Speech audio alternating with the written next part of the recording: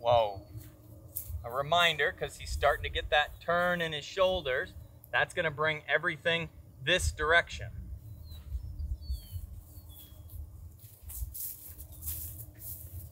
You see, no foot movement there. That's key. Whoa.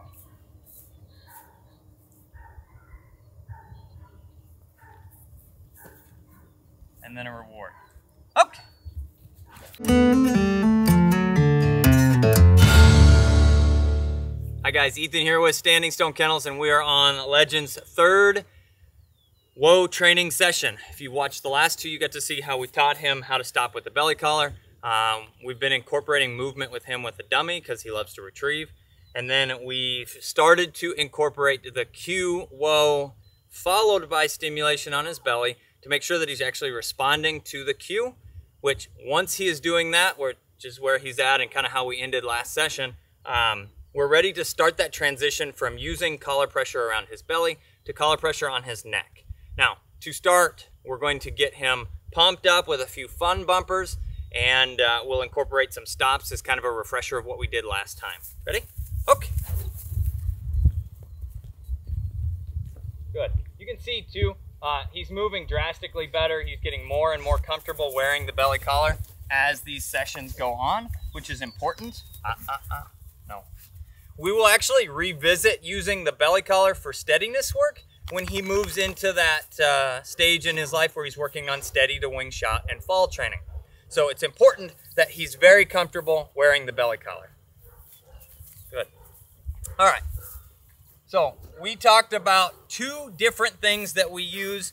We use a whoop, whoop, W-H-O-P-O-O-P, however you actually want to spell it, but whoop is the warning. We've got to give him a cue when he's actively running fast. We need to give him the ability to understand that whoa is coming after that.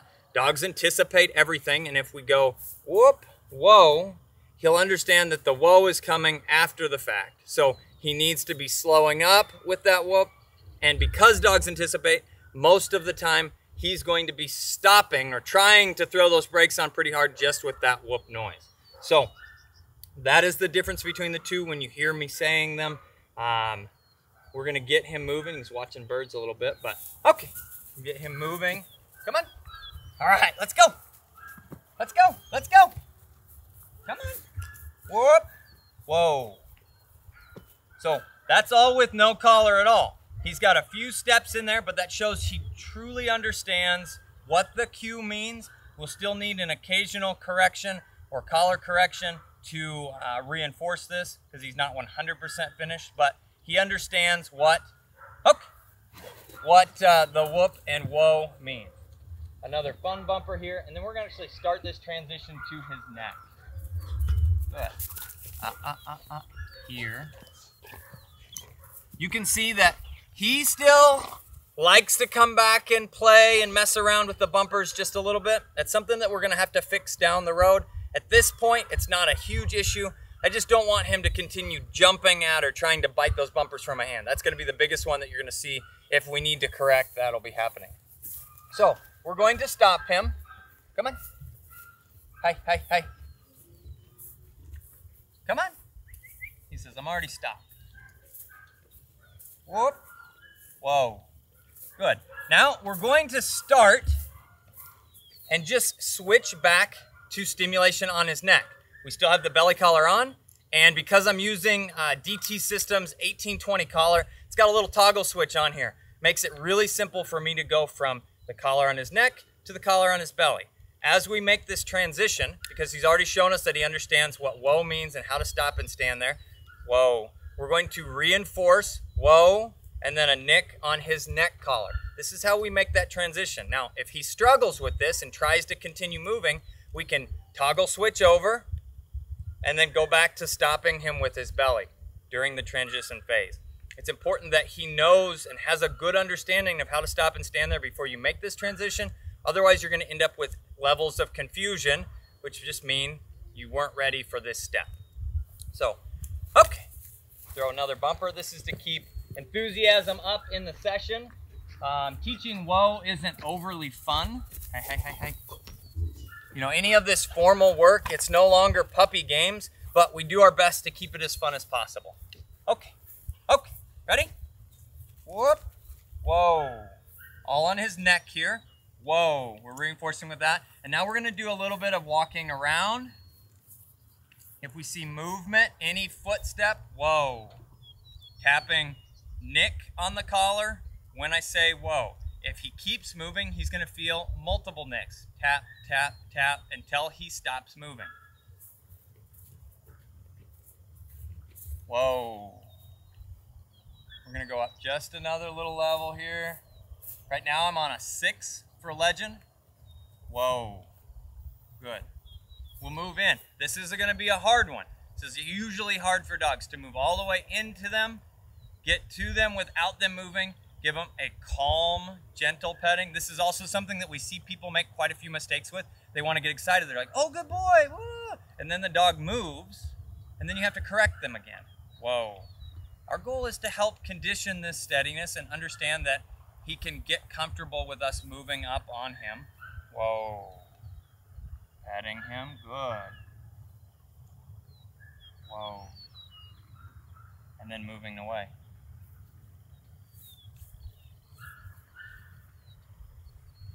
A job well done deserves another bumper. Okay.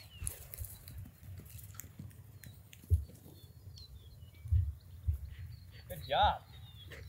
Good job. Hi, hi, hi. Hi. Here. Good boy. No. Good job. Ready? Again, we're going to get him moving. Whoa. I'm using Nick on his neck. Whoa. Like we're going to get a little distraction here shortly. Whoa.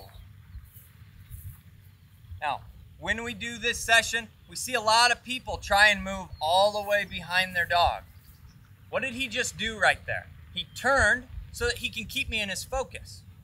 Moving behind him is the hardest. He wants to focus us, he wants to pay attention to us, and if you move all the way around him, eventually you can get to that step, but it's going to be more difficult in the beginning stages. So try and keep out where your dog can see you in that 180 degrees, basically, um, in front of the dog. Once he gets really good at this, we can make a loop all the way around him. Whoa. Whoa. Uh-huh. Distraction. He's paying attention to the vehicles pulling up. Whoa. But we're able to handle him through this. Whoa. He's not trying to come to me. He's not trying to continue to move, which means that this transition is going well. Whoa. Another fun bumper. Okay. Good boy. Good boy. Hi, hi, hi. Here. Good. No. One more. Now, he's doing well with this. We see um, dogs figure out, though, that when this belly collar is on, it means that they need to stand still. So what we're going to end up doing is actually loosening this. This is, again, another baby step in this process. Now, I've got a belly collar that's not going to do anything. It's just flopping around here. Can put my whole arm underneath of it, but he still feels a little bit of that pressure. Just that gentle reminder that says, oh, I've still got a belly collar on. Now, if you're going to see a mistake, this is typically where it's going to happen. He's going to try, um, he's going to try and come to us, and if we see that, then we'll need to just take a step back and tighten that belly collar up and do some more conditioning. Good. Ready? Yeah. Whoa. Good. Whoa. We're going to try and move in on him. Uh, uh, uh. Me swinging this dummy around is getting his focus pulled. So I'm going to keep it out of the way for now. Whoa. Uh, uh. He moves his feet like that. He didn't get the reward of a, a little petting. Whoa. Whoa. Every time I'm saying whoa, the collar comes immediately after. He's going to learn to avoid the collar eventually, avoid the collar completely by complying to the cue.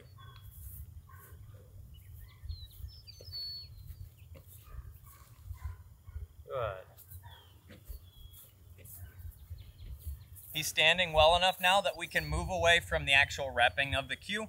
You've heard me utilize, whoa, You've heard me use the cue a little more often, even when he's actually exhibiting the behavior. And that's because we're trying to make sure he has an understanding of what whoa means and how to associate it to the behavior that he is exhibiting.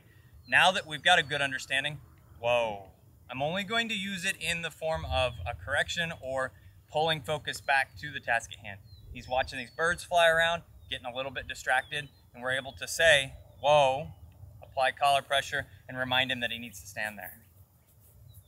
Try another rep here. Whoa. Good. Now, he's getting pretty good at this. I'm going to try and make that loop all the way around him. My expectation is that he's still going to try and turn to look, but if we can handle him through that, it'll be a good, uh, it'll be a good thing for him. Whoa. A reminder, because he's starting to get that turn in his shoulders, that's going to bring everything this direction.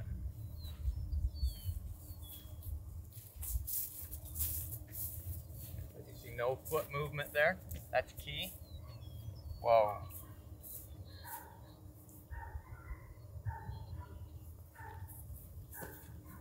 And then a reward. Okay. Good job, buddy. Still running vibrate on his neck on the way back. He knows what that means. It's easy to continue to condition that here. Good. One more. Uh, uh, uh. Now, he's doing really well, and the final step in this is going to be continuing to make this looser to the point where we can take the belly collar off all the way. I'm going to run this out now. The belly collar is going to feel like almost nothing there at all. May even be to the point where it could fall off. Um, we'll do a couple reps this way. If he's doing well, we're to take that belly collar off completely and see how he does. Good. Whoop. Whoa. Good. Whoa. Whoa. Ah, ah, ah. Whoa. Again, he's super excited about that bumper. Whoa. Okay. So after this one, we're to go ahead and remove the belly collar and then see how he does after that.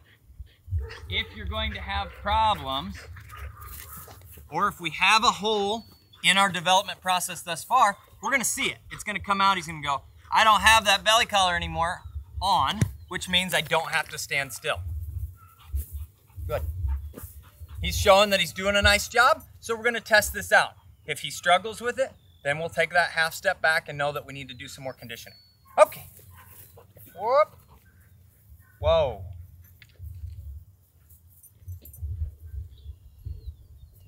Whoa. Uh, uh, uh. Whoa.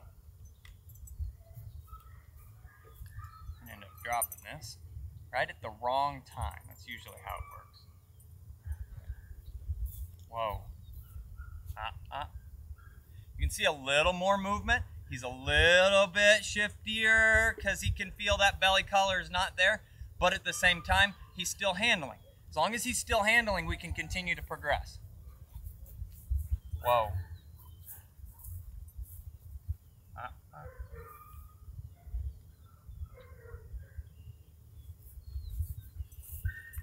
Good. Whoa.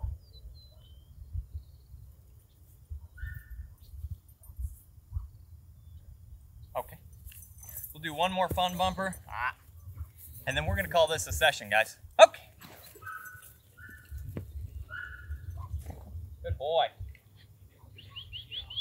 Good boy. Nice job. Nice job.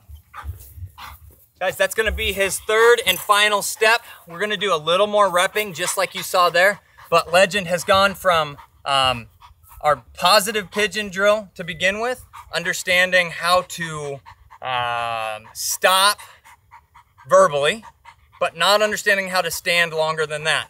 To we use the belly collar, then we transition that to his neck, and now we no longer have the belly collar on, and we're only using the neck collar to reinforce him standing still. So he's gone through the three steps that we need, um, and that's minus a little more conditioning, how we teach whoa. Thanks guys for watching. If this is your first time to the channel, please hit that subscribe button so you don't miss any of our upcoming videos. And we'll keep you posted on Legends work as well as a lot of other great things.